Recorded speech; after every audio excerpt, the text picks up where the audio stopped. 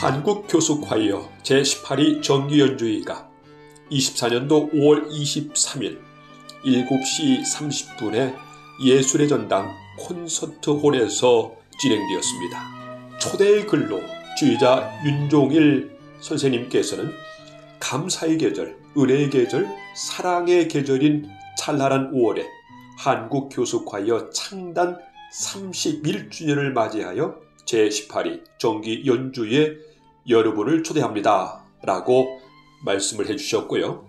인사말에 단장 이계선 선생님이시죠. 꽃향기 가득하고 실록의 계절인 5월 한국교수과이어 제18위 정기 연주회 예술의 전당 콘서트홀에서 개치림을 축하합니다. 이렇게 말씀을 전하고 있습니다. 오늘 교수 파이어 우리 멤버들이 두 분 계시잖아요. 그렇죠. 그분들을 위해서 응원의 말씀 좀 해주시죠. 네, 우리 이정신 선생님, 이신희 선생님, 오늘 최고의 연주를 기대합니다. 화이팅! 네, 화이팅 할 수 있도록 하겠습니다. 네. 네. 한국 교수 콰이어는 1993년 12월에 창단되었고요.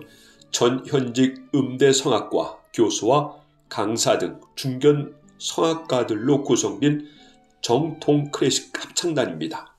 가곡, 고전 합창곡, 교회 음악을 중심으로 전통 합창음악의 꾸준한 발표를 통해서 독보적인 합창단으로 평가받고 있습니다.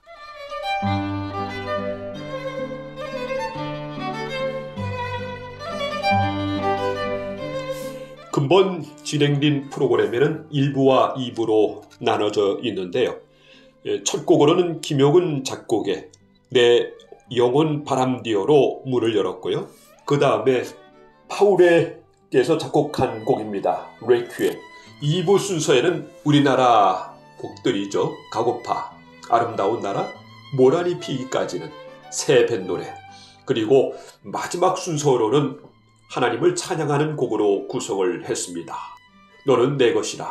그 이름을 찬양, 주 사랑, 끊을 자 없네. 주님을 순례해. 이렇게 해서 어, 전체 프로그램을 소개해 드렸고요. 이 모든 곡들은 촬영을 할 수 없는 그런 상황이기 때문에 함께 여러분에게 공유를 하지 못합니다. 앵콜 곡으로 두 곡을 불렀는데요. 어, 함께 감상할 수 있도록 하겠습니다.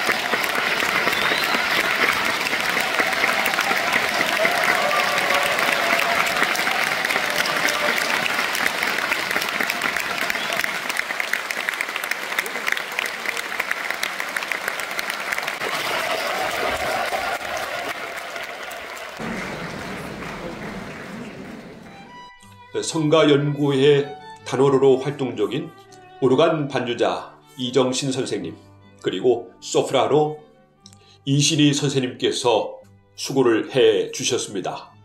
우리 성가 연구회의 보배로운 분들입니다.